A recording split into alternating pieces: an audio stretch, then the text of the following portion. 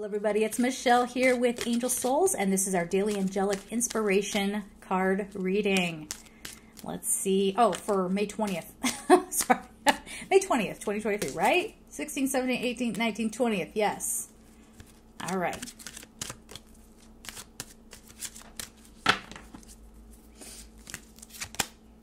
Emerald Compassion.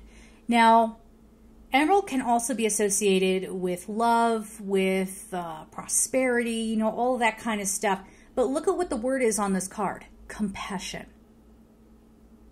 We don't have enough of that.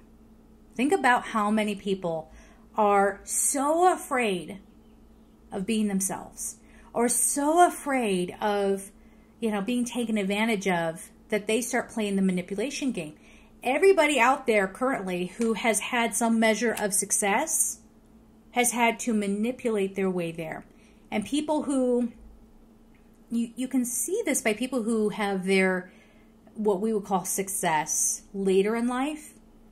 So not always, but usually people who they didn't sell out. They didn't they just took the hard road to make sure they stayed in their integrity until they crafted very organically what they wanted to put out into the world or what they wanted to um, bring forward. So have some compassion for others so that, you know, we're not playing that manipulation game and uh, have compassion for yourself as well.